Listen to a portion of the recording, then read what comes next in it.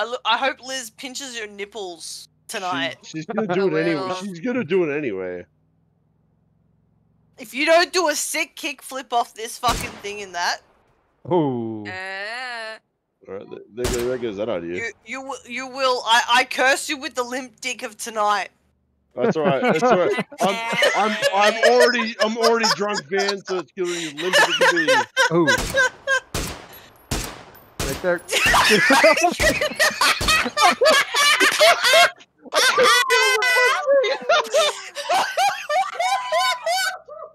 I want